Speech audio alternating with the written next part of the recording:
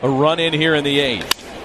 Otani sends one the other way. That one's off the monster. That probably has never been made, even in this ballpark before.